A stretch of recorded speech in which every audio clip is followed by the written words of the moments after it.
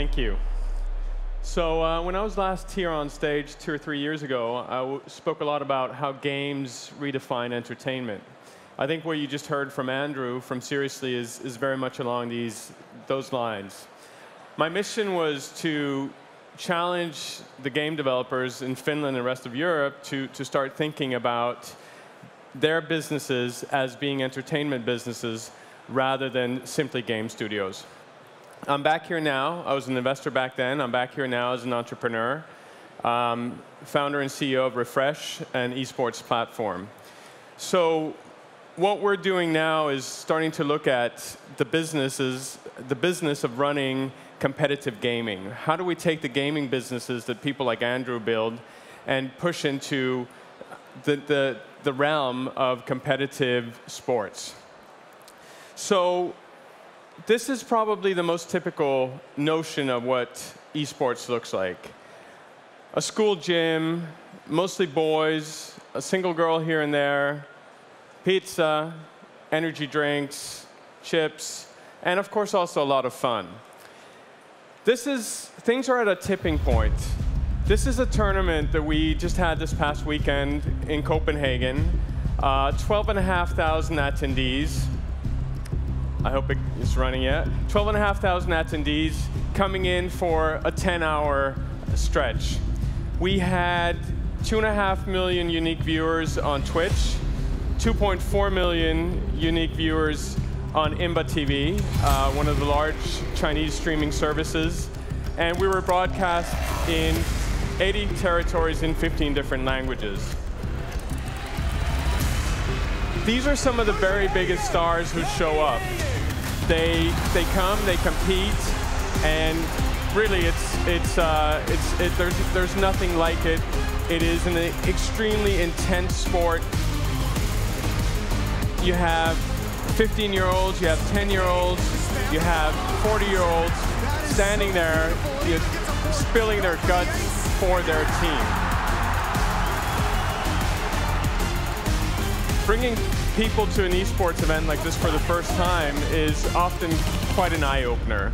Um, seeing the intensity of, of the crowd, seeing the intensity of the audience, uh, is something quite different.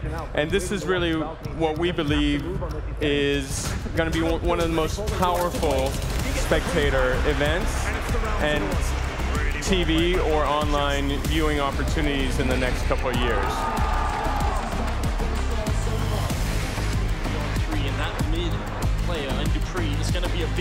So during this, during this final, or actually during this day, it was broadcast on, on DR, the Danish Public Service Channel.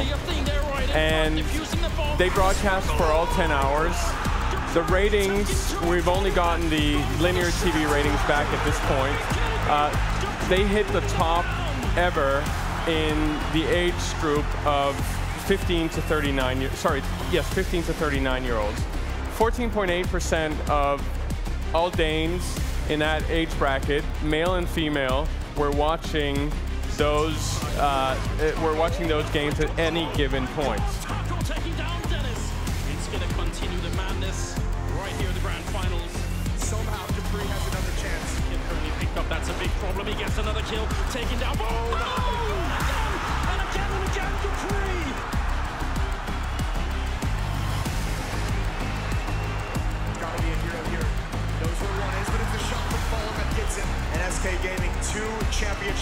Points here.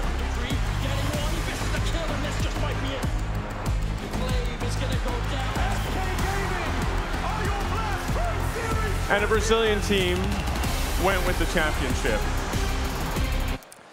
So a little bit on the on the ecosystem. Um, you know, this is very much a sport which has been invented from behind the closed doors in, in a teenage room. Uh, we have stars now who are rivaling the biggest football stars, the biggest basketball stars in social media followship. Um, they're represented by teams. Um, a few of the traditional sports teams like uh, PSG in Paris are getting into this, but mostly these are brand new brands. Astralis, Fnatic, SK, teams that haven't existed in, in anything else before.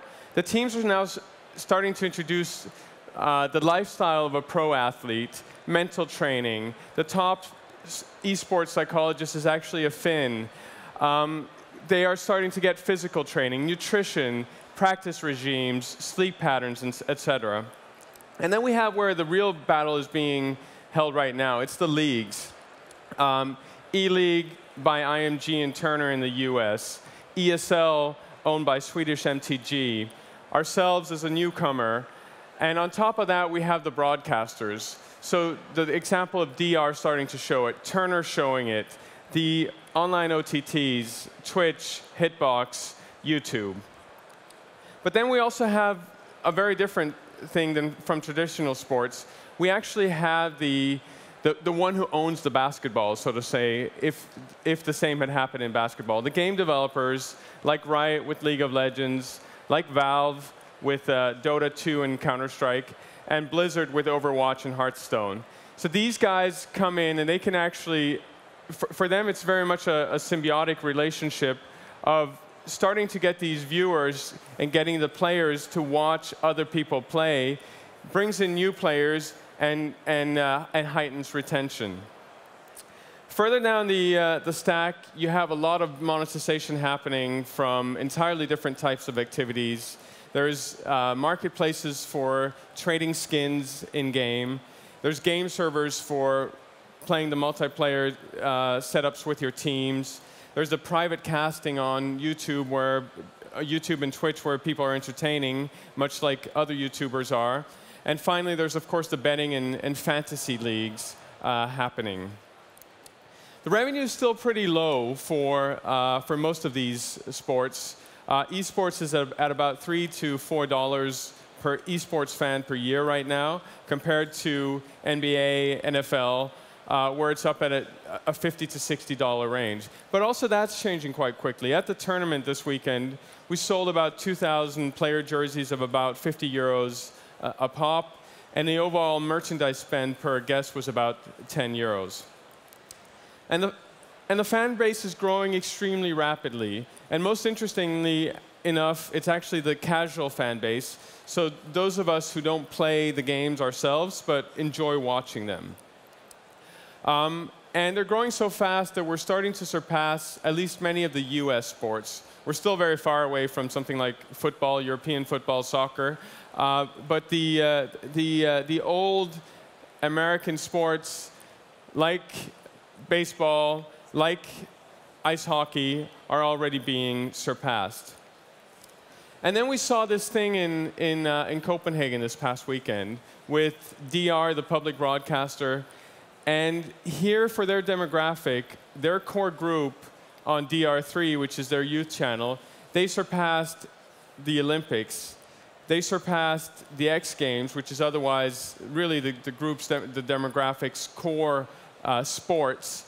And they even surpassed the Eurovision uh, sent on, on that channel. So this was, I think, for the first time that we really saw on national TV the power uh, that esports has. If we look a little bit on, on the demographic, it's, there are two interesting points. Of course, we have a mass of new young players and viewers coming in every year, but it's not as skewed. Oh, I clicked back, sorry. It's not as skewed as, as, as we anticipate. Um, the, uh, the demographic above 20 years represents about 70% of all the viewers. And also on the female side, it's, it's almost one third, which is constantly a surprise to anybody who makes their way into the sport, whether that's a viewer themselves or if this is, uh, are these some of the brands that have started working, whether this is the Audis, whether this is the Virgins, uh, or even whether this is the, the Red Bulls. It's a very affluent population. Um, there are fewer that are unemployed, and generally they're higher earners than anywhere else in, uh, on, of the internet population. Uh, even talking to high-end consultancies in Denmark, whether that's a McKinsey or Deloitte or Price Waterhouse, they're massively looking to recruit from this group. Many are technically adept, of course, but also within these companies, they've seen that their high performers uh, are all esports, either former esports players or fanatics um, at this point. So looking a little bit more at, at the user also, this is, is, is, a, is, a, is a younger example. This is my 15-year-old son. Um, he, in the past week, has played roughly 35 hours, sorry, past two weeks, roughly 40, 35 hours, which is probably about the same time he goes to school. Um, he has invested in skins. Skins in Counter-Strike have absolutely no functional value. You do not, you cannot shoot uh, better. Uh, you cannot uh, have more impact. This is entirely visual. He has, pu has put together an inventory of about 430 euros.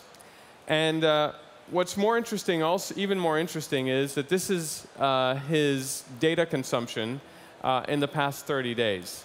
So massive, massive use of YouTube, massive use of Twitch, massive use of all the other uh, digital video services out there. They're, they're twice as, as uh, likely to have Netflix subscriptions, three times as likely, more likely to have Spotify subscriptions than the average internet user. So from the brand's perspectives, these are definitely users that they want to get a hold of. So just to wrap things up, a little bit of sort of my, my own personal history in this. Uh, I was involved with Mojang, the creators of Minecraft, back in 2010. And we were solidly happy about all the traffic, all the new users that YouTube was sending our way. And then suddenly in 2013, we started looking really into the numbers. And what we saw was that it was actually no longer YouTube driving Minecraft, it was Minecraft driving YouTube. Minecraft videos had become, at that point, the second most viewed category by minutes uh, in all of YouTube, surpassing even, even music, sorry, second only to music videos. So I think really the end of this is for the game developers, for the investors, and for you as other entrepreneurs, not just to look at the gamers, not just look at the creators who are creating the content for Twitch, for YouTube, et cetera, but this mass new block, which is the viewers. And these people might never be playing the games. They might only simply be enjoying it uh, from the perspective of being a, a viewer. Thank you.